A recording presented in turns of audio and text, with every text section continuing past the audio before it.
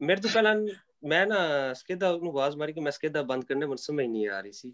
ਤੇ ਮੈਂ ਉਹਨੇ ਮੈਨੂੰ ਆਇਆ ਮੈਨੂੰ ਸਕੇਦਾ ਬੰਦ ਕੀਤਾ ਸਕੇਦਾ ਜਾ ਬੰਦ ਕਰਕੇ ਉਹ ਆਪਣੀ ਜਾ ਕੁਰਸੀ ਤੇ ਬੈਠ ਗਿਆ।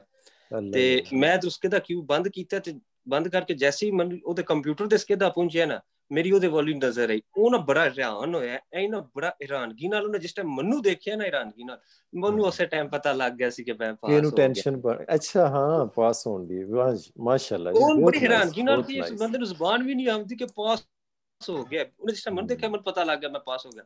ਖੈਰ ਉਹਨੇ ਪਤਾ ਨਹੀਂ ਕੀ ਕੀਤਾ। ਮਤਲਬ ਕਿ ਉਹਨੂੰ ਸਹੀ ਸੱਚ ਸਾ ਮੈਂ ਇਹ ਦਰਵਾਜ਼ੇ ਵਿੱਚ ਹੀ ਸਾ ਤੇ ਤਕਰੀਬਨ ਬਾਹਰ ਨਿਕਲ ਰਿਹਾ ਸੀ। ਤੇ ਇਹ ਬਾਹਰ ਦਰਵਾਜ਼ੇ ਬਾਹਰ ਨਿਕਲੇ ਸਾਹਮਣੇ ਪੁਲਿਸ ਵਾਲੇ ਦੋ ਖਲੋਤੇ ਹੈ ਉਹਨਾਂ ਮੈਨੂੰ ਸਿਰਫ ਮੇਰੇ ਵਾਸਤੇ ਖਲੋਤੇ ਹੈ ਤੇ ਮੈਂ ਬਾਹਰ ਨਿਕਲਦਾ ਗਿਆ ਤਾਂ ਉਹਨਾਂ ਮੈਨੂੰ ਸਾਈਡ ਦੇ ਕਰ ਲਿਆ। ਤੇ ਮੈਨੂੰ ਕਹਿੰਦੇ ਕਿ ਡਾਕੂਮੈਂਟਸ ਤੇ। ਮੈਂ ਮੈਂ ਡਾਕੂਮੈਂਟਸ ਚੈੱਕ ਕਰਵਾਏ ਉਹਨੇ ਡਾਕੂਮੈਂਟਸ ਚੈੱਕ ਕਰਵਾਏ ਤੇ ਹਾਂ। ਬਸ ਗੱਲਬਾਤ ਇੰਜੇ ਕਰਦੇ ਰਹੇ ਤਾਂ ਮੈਨੂੰ ਸ਼ੱਕ ਹੈ ਕਿ ਮੈਂ ਹੈ ਕਿ ਅੰਦਰੋਂ ਹੀ ਬਸ ਆਈ ਹੈ ਸ਼ਿਕਾਇਤ ਕਿ ਬੰਦੇ ਤੇ ਕੋਈ ਡਾਊਟ ਹੈ ਸਾਡੇ। ਮੈਂ ਸਟੂਡੈਂਟਸ ਨੂੰ ਗੁਜ਼ਾਰਿਸ਼ ਕਰਾਂਗਾ ਅਮਜ਼ਾ ਅਬਾਸ ਅਮਜ਼ਾ ਹੁਸੈਨ ਸਾਹਿਬ ਨੂੰ ਮੁਬਾਰਕ ਵੀ ਆਖੋ ਔਰ ਸ਼ਾਬਾਸ਼ ਵੀ ਦਿਓ ਜੀ।